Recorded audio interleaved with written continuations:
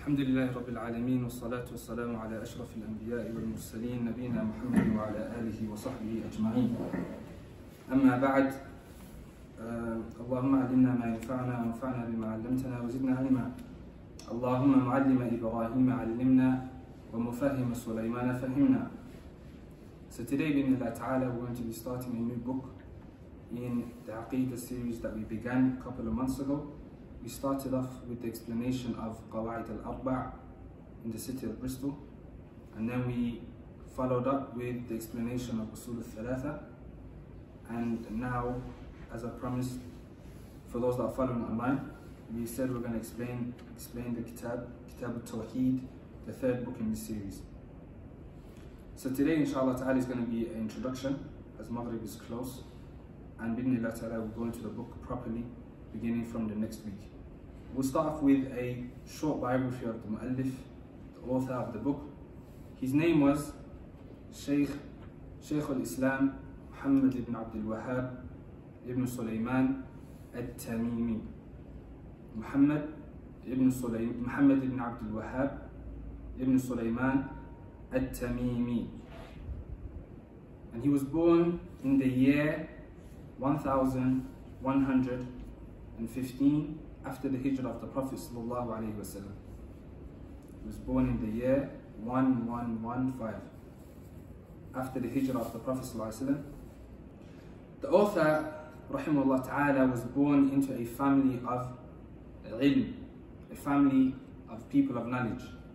His father was the judge of the city of Unayza. Likewise, his grandfather was a scholar and his uncle. So he grew up in a family, in an environment that was already busy with knowledge and the teaching of knowledge and disseminating and spreading this knowledge that they have all Allah Azza wa blessed them with. So at the age of 10 years old, he memorized the Quran. It's an early stage. The Shaykh memorized the Quran. And he got married off, likewise at an early stage, at the age of 12 years old. His father saw his maturity and he married him off at the age of 12 years old. And then he went to perform Hajj and he went to Mecca. And after Hajj, he continued to seek knowledge. And then he went to Medina and he saw knowledge from the scholars of Medina. And as is the sunnah of the Salaf, that what they would do is they would seek knowledge in the land that they live in. So if a person lived, for example, he lived in Unayza, he sought knowledge first of all with his father. He memorized the Quran. He learned with him the basics. Then he went to the other scholars of his land. After they would seek knowledge from the people of their land, there's a sunnah called Ar-Rihla fi talab al-ilm, which is to travel and to journey and to leave your land and to go to other lands in order to seek knowledge. For no other intention but to seek knowledge. So this author, he went and he did a rihla fi talab al-ilm. And he went to Mecca, he went to Medina, and from his mashayikh is Sheikh Abdullah ibn, ibn Ibrahim al-Najdi, and likewise Sheikh Muhammad Hayat al-Sindi. And this latter Sheikh, Sheikh Muhammad Hayat al-Sindi, he was um, a Sheikh from the, from the area of India, Sindh. And this Sheikh is a Sheikh that if a person who has inayah with the ijazat and ahadith and the likes will find his name always appears. All ijazat, for example, I have an ijazah in Sahih Muslim, and if we go back, ijazah is a chain that goes back to the author of a book and then goes back to the Prophet. So, for example, I heard from my sheikh, and my sheikh heard from his sheikh, and his sheikh heard from his sheikh, and it goes up all the way to the author of a book, like Sahih Bukhari. And then the author of the book will say, I heard from my sheikh, and he heard from his sheikh, all the way back to a sahabi, a companion the Prophet And then the Prophet and the companion heard directly from the Prophet And this chain continues even after the Prophet because the Prophet received revelation from Jibreel, the angel Jibreel. And Jibreel was given revelation from Allah so this is what chain of narration is. So you find in the chains of narrations that we have today in hadith, they all go back to this sheikh called Sheikh Muhammad Hayat as-Sindi. And this was one of the scholars, one of the teachers of Sheikh Muhammad Abdul Wahhab. This is one of the teachers Sheikh Muhammad Abdul Wahhab, and he was a muhaddith, a scholar of hadith. طيب. Likewise, he sought knowledge and he did a rihla in Al-Ahsa, an area called Al-Ahsa. And likewise, he went to Basra. Basra is a city in Iraq. Basra is a city in Iraq. And whilst he was in Iraq, he began writing this book that we're studying today, Kitab al-Tawheed. Kitab al-Tawheed, he began writing it in Iraq, in Basra. After seeing the shirk that the people were committing and the shirk that the people were falling into, he saw the need of the people um, learning about Tawheed and knowing the difference between Tawheed and Shirk and the like. So he began authoring the book in Basra. So he was born in Uyayna, Uyayna in modern day Saudi Arabia. طيب, what year was he born? 1115. 1115 after the Hijrah. طيب. Some of the cities he went to seek knowledge? طيب. Basra, Medina, Mecca. Tell me one sheikh that you know of, of the mashayikh of the author. Sheikh Muhammad Hayat al-Sindi. Sheikh Muhammad Hayat al-Sindi. طيب. He went back to his homeland and he began giving da'wah. He saw, he lived in a time where shirk was widespread, bid'ah was widespread. He began calling the people to tawheed. And the sheikh, he faced many trials from them. To summarize quickly, was he was exiled from his own land, from his own city, where his father was a judge. Eventually he was, he had to leave and he went to Dir'iyah. And this city where he was at, Dir'iyah, that's where the da'wah settled because he met a man called Muhammad bin Saud and they made a pact, an agreement and uh, to spread Tawheed and to uh, wage a war against Shirk. And Muhammad bin Saud would be the ruler and Shaykh Muhammad Wahab would be the one teaching and spreading the knowledge. So when this pact occurred, then the da'wah flourished and we see the effects of it till today. And that's how the country of Saudi Arabia began. Saudi Arabia, Saudi coming from Muhammad bin Saud, the leader that made a pact with Sheikh Muhammad Abdul Wahab. طيب. The Sheikh, some of his authorships, some of the books that the Sheikh authored, Sheikh Muhammad Abdul Wahab, from those books is Usul al-Thalatha, the three questions that every Muslim is asked in the grave. Likewise, Qawa'id al-Arba', the four principles. Likewise, Kitab al-Tawheed, the book that we're going to be studying bi'inillah ta'ala. Likewise, we have Nawaqid al-Islam, those um, things that nullify a person's Islam. There are 10 that he mentioned. Likewise, we have Fadl al-Islam, the virtue of Islam. We have uh, Adab al-Mashi al-Salah, those mannerisms in walking to the Salah, and he mentioned other affairs of fiqh.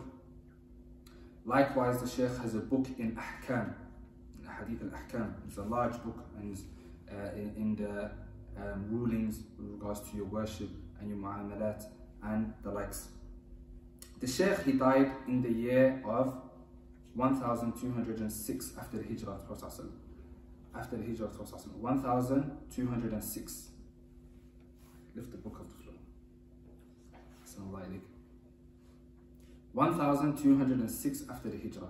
1206. That's the author. Short summary and, and uh, biography of the author. Then we have the book itself, Kitab al-Tawheed, where they mention some affairs connected to the book itself. As we know, the Salaf al-Salih, the righteous predecessors, min qadim al-zaman, from an early stage, had inaya with the affair of Tawheed and Ibadah and clarifying to the people. And they used to teach the people. And some of the ways that they would show inaya was to write authorships in that regard. And some of those books that were written about Tawheed is the following. Number one, Kitab al-Tawheed by Imam al-Bukhari. Imam al-Bukhari, he has a book called Sahih al-Bukhari. And this is the most authentic book after the Quran. And the last chapter he mentioned, he mentioned many chapters, the last chapter that Imam Bukhari mentioned in his book is a book called Kitab al-Tawheed, the book of Tawheed. And it's similar size as this book that we have in front of us uh, right now. Then we have Kitab al-Tawheed, the same name, Kitab al-Tawheed by Ibn Khuzaymah. By Ibn Khuzaymah.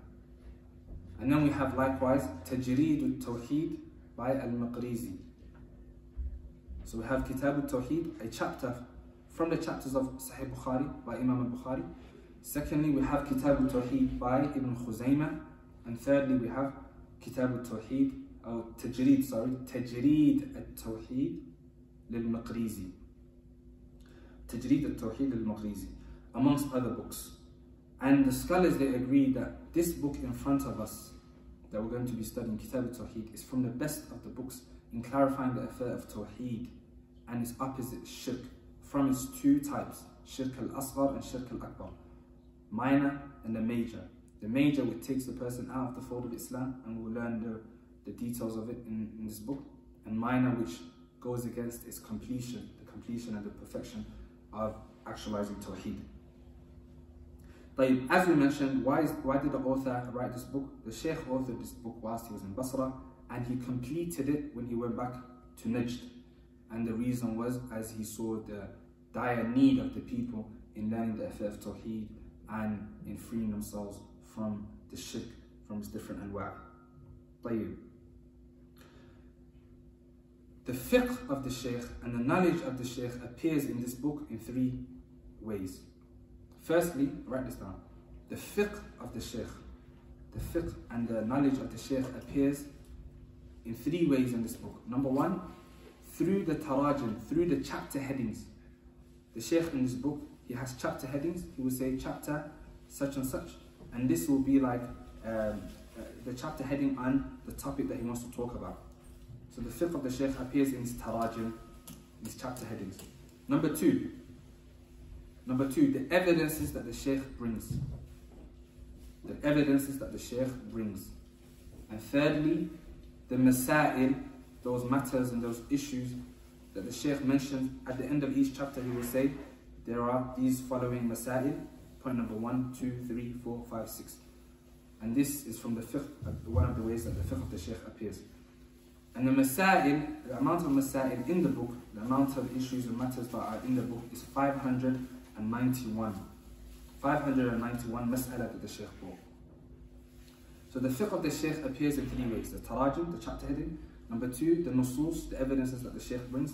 And thirdly, those masail, those matters and issues that the Shaykh brings at the end of each chapter. And there are 591 mas'ala in total. طيب.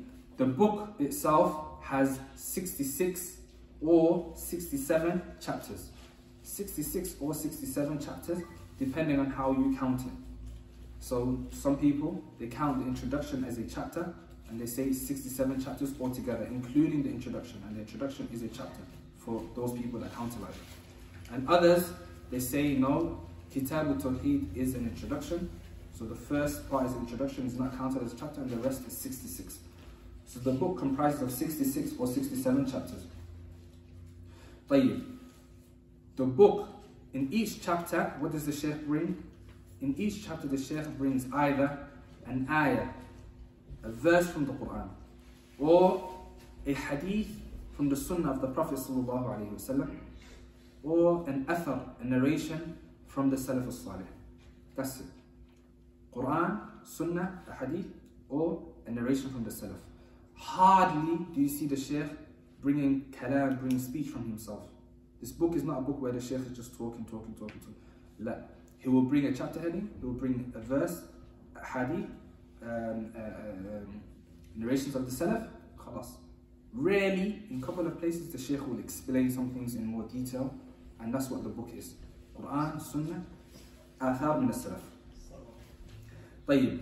The Sheikh himself was a scholar of hadith. He studied, as we mentioned, from a scholar of hadith, Sheikh Muhammad Hayat al-Sindi and he himself became later on a scholar of hadith likewise.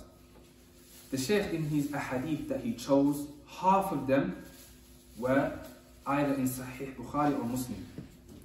What is Sahih Bukhari Muslim? Sahih Bukhari is the most authentic book after the Quran. He brings all of the ahadith, Imam Bukhari, he brought all some ahadith, almost 4,000 or more, ahadith in one book and he has some conditions in order to bring it in this book. And these conditions that he set, they made it become the most authentic, the most, most authentic book after the Quran. The most authentic book that the Muslims have and rely upon as a source is the Quran, which is from Allah Azza wa Jal. And then after it, we have Sahih al-Bukhari. Second after al-Bukhari is Sahih Muslim. Another Shaykh called Imam Muslim, he brought a book where he gathered the hadith together in a book with strong conditions and it became the third most authentic book after the Quran.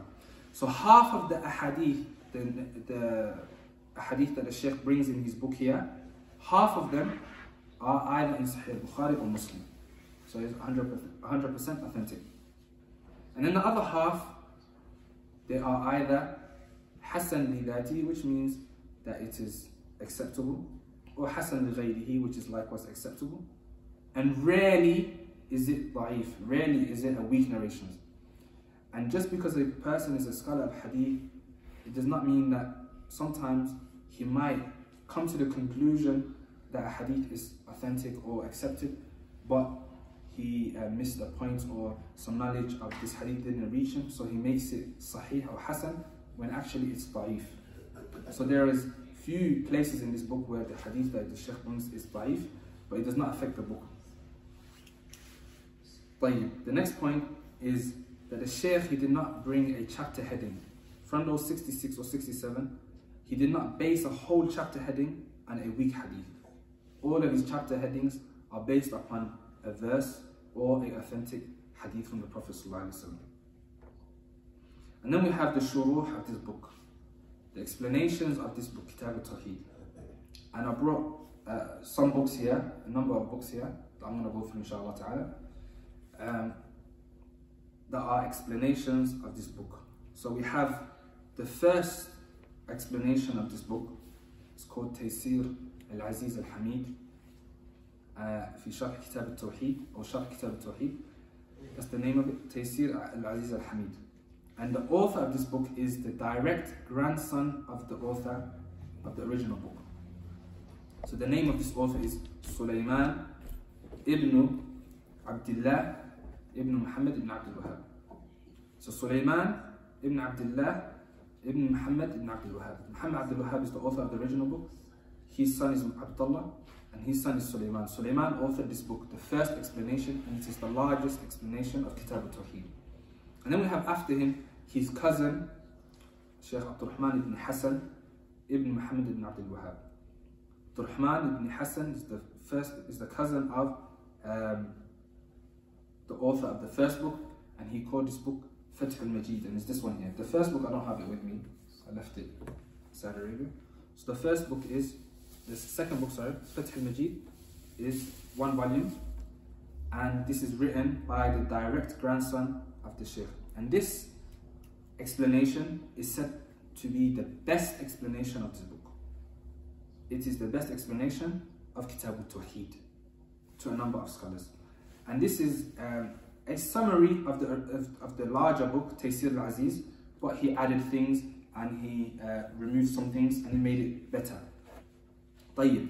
After Fath al-Majid, the same author, Sheikh Abdul Rahman bin Hassan, he made summary of this book and he added things to it of his own book and he called it قرة عيون الموحدين أو قرة عين الموحدين عيون الموحدين if I'm not mistaken عيون قرة عيون المحددين موحدين موحدين جزاك الله خير so that's an اختصار that's a summary of فتح المجيد and then we have uh, likewise from the explanations we have إبطال التنديد باختصار كتاب التوحيد by Hamid al-Atiq it's from the early uh, scholars after the author that wrote this book إبطال التنديد باختصار كتاب التوحيد and then likewise we have from those early scholars we have a book called Al Jami' al Farid.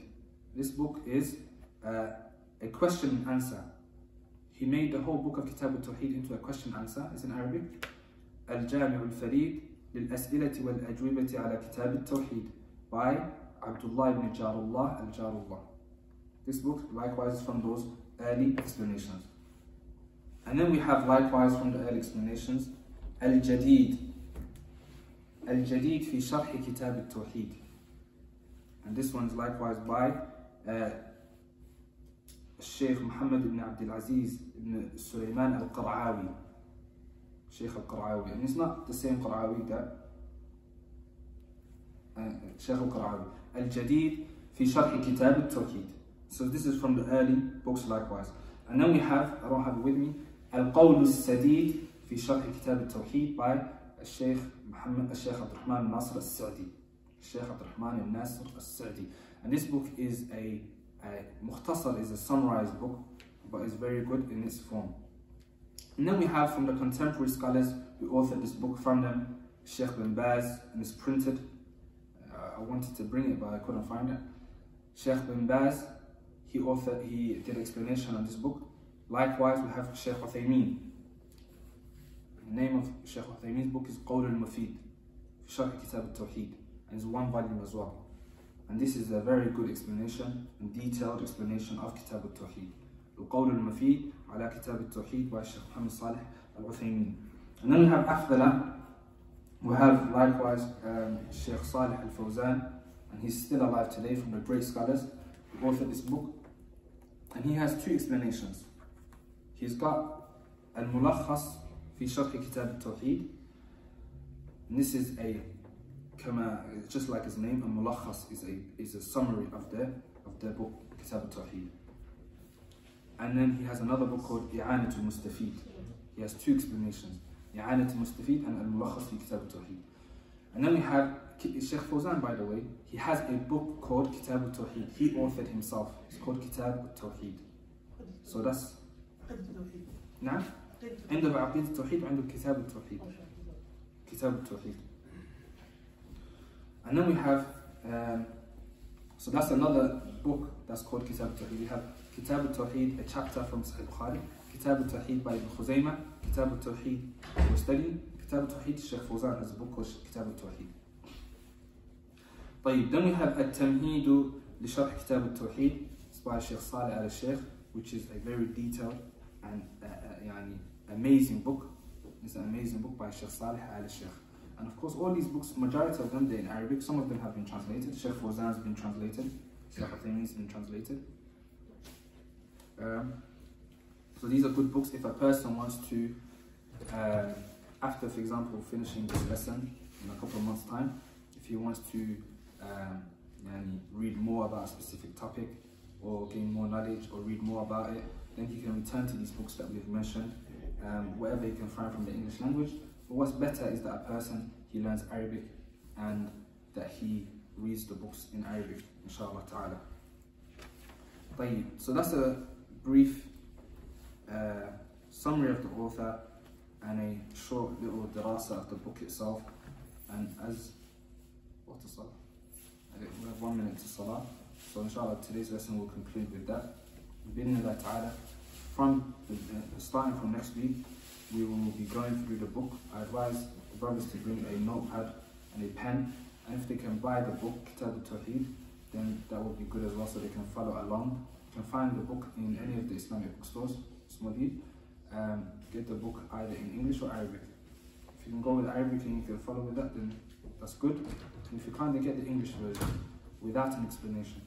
Get the original book without an explanation نسأل الله التوفيق والسداد نسأل الله الإعانة والتوفيق.